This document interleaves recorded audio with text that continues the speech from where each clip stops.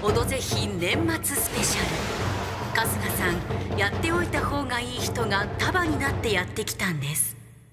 最初の試合のテーマは忍耐力。春日さんといえばこう死ぬこと以外 NG はないとよくおっしゃっていますが、うん、えー、類まれな忍耐力の強さは芸能界でも折り紙付き、うん、えー、ということで第1試合は息止め黒ひげビリビリ危機一発息止め黒ひげビリビリ危機一発ビリビリマシーンを腕につけ鼻栓をしハーモニカを加えて黒ひげ危機一発に挑戦。手元が定まらず息を止めた状態で先に黒ひげを飛ばした方が勝ち。息が続かずハーモニカが鳴ってしまったら失格です。寺川さんこの試合どんなところが見どころになりますか？そうですね。やっぱりオードリーさんとティモンディさんの戦いになってくるとこう結構互角の勝負になるかなと思うのでやはりポテンシャル秘められたこの素人ゼヒラーさん4人の対決がやっぱり見どころになってくるかなと思いますね。4人？4人もいねえぞ。4人あと誰だ？自覚ないです。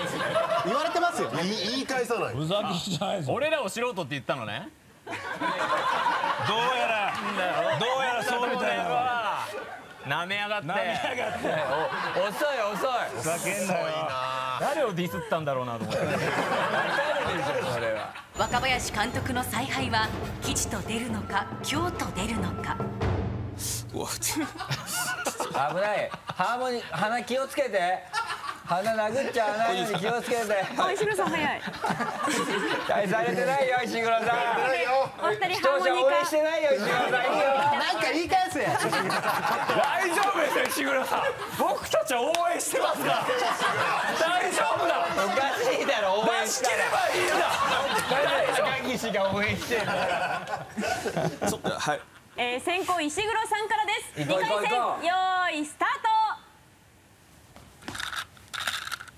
刺しちゃう。刺しちゃう、刺しちゃう、どんどん刺しちゃう。よし、いいよ、いいよ。高岸さん。そっち、そっちじゃダメなんだよ。一回止め、一回止め、一回止め、一回止め、一回外そう、一回外そう。ちょっと待って、これは。今イエローカード。寺川さん、これ。イエローカードでしょ、今の。寺川さん、これ、今のダメでしょ。いや、もう目が逆だったも。ん。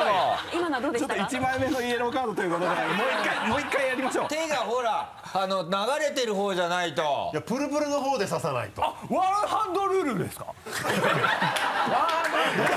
ハンドとかじゃない。ワンハンドルールだよ。なるほど。こっちだけでやるんだ。それ相当難しいそういう。見てただろ一回戦。一回戦何だと思ってたの何だったんだよ。さあそれでは石黒さん先行で、はい、えー、両者準備よろしいでしょうか？はいはいよーいスタート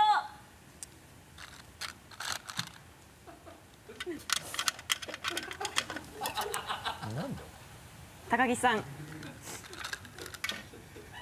それを抑えていい。抑えてはいいのよ。フェンシングじゃない。フェンシングやってんじゃないんだよ。あれ？さあ高木さん、石黒さん早かったですね。高岸さんで石黒さん。いけいけいけいけいけ。飛び出させろ。ああ。うわ。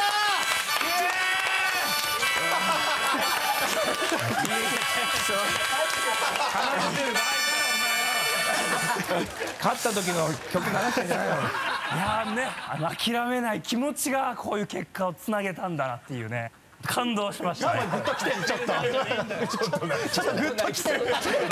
なんでグッときてるの？姿にグッときたのかな。